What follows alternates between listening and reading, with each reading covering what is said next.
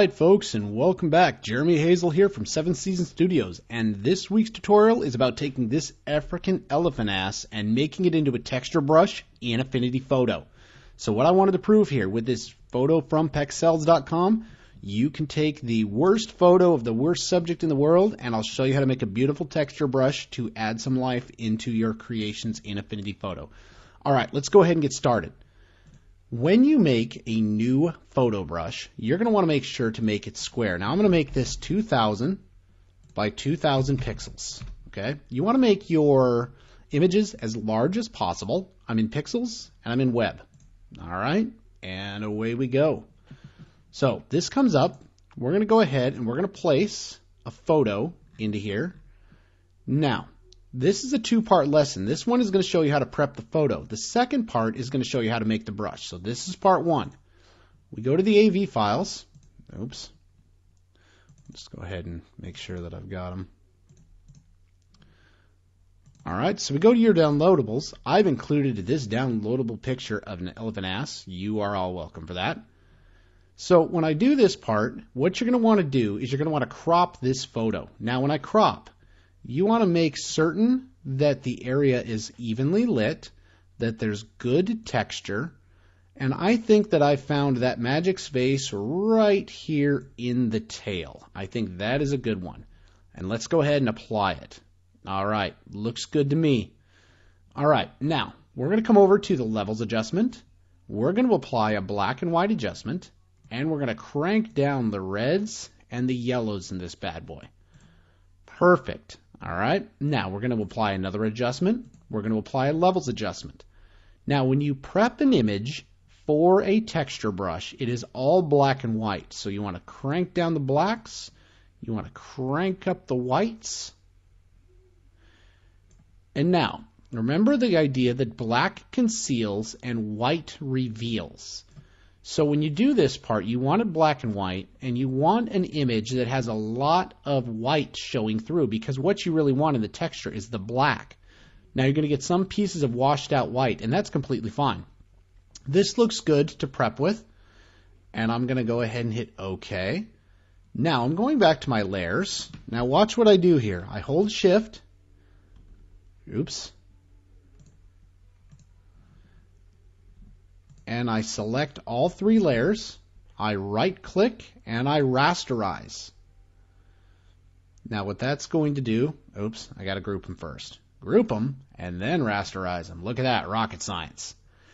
All right, so when I do this part, this is now a flat pixelated image. Now if I go up to File and I go through and I add in a pixel layer, I'm going to bring this pixel layer to the bottom. So if I come in here and I add a pixel layer to the bottom, now I'm going to grab my brush, but I'm also going to grab my eraser.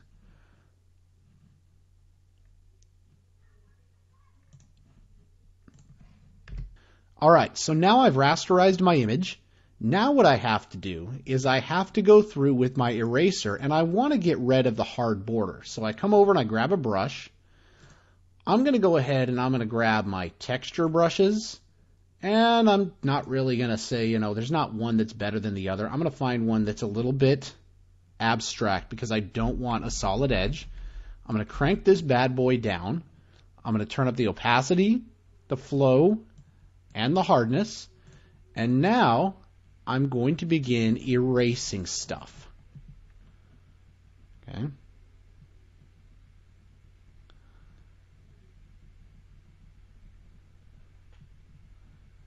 Now I'm going along the edge. You see how I'm erasing things?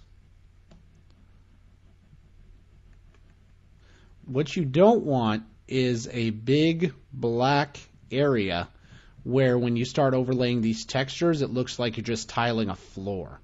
You want to make sure that you've got some areas where it's really cut in. I'm going to crank down my brush and show some areas where it's not so cut in. All right. Now, you see how it's kind of going white? What I want to do is I want to go over to my document. I'm going to click on transparent background.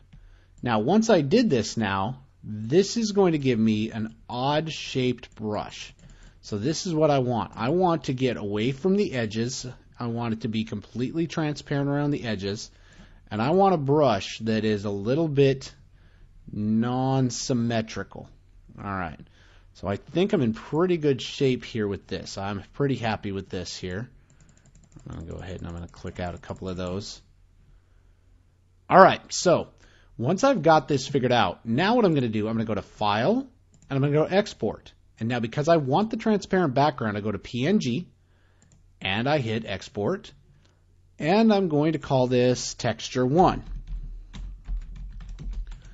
Now, just to show you kind of what the difference is, we're going to go with this texture and, well, let's save it first. Save as. We'll call this working file texture 1.